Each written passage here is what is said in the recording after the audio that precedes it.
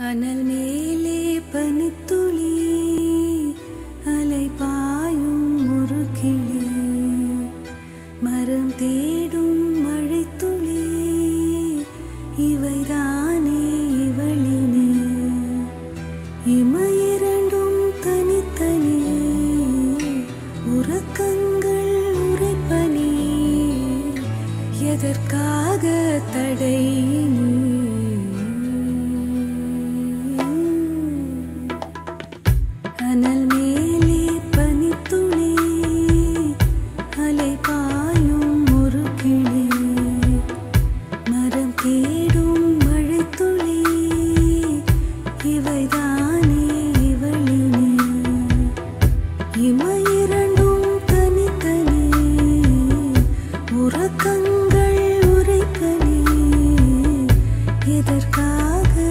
day.